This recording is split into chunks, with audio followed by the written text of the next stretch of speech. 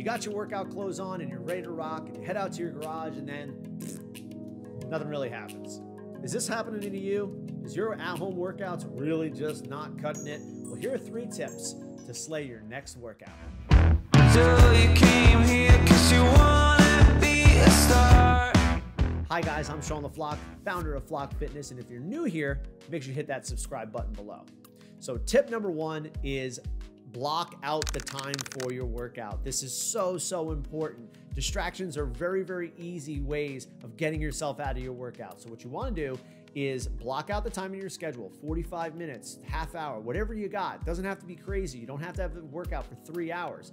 What you want to do is hold yourself accountable to that time.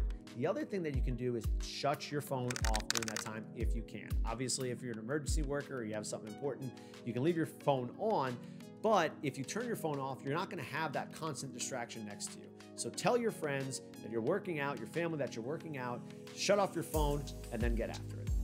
Tip number two, improving your at home workout is write it down. I know this sounds silly, but when you write your workout down, it kind of takes away the options for you.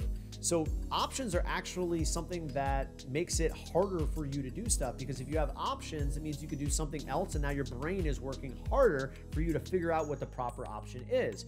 If you write everything down that you want to do in your workout, you have one option do your workout. So, make sure you're taking the time to write it down and then execute.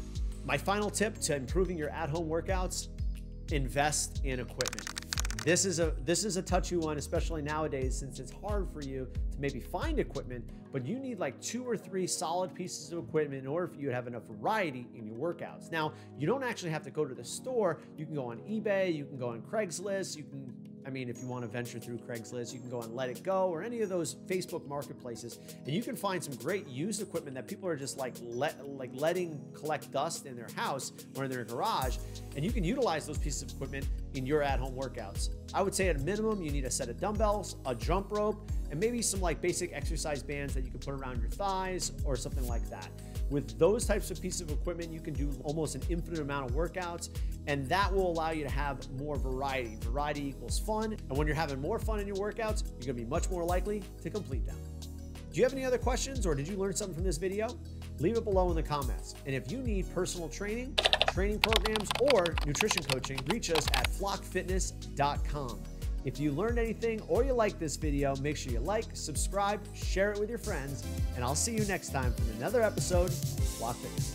Take care, guys.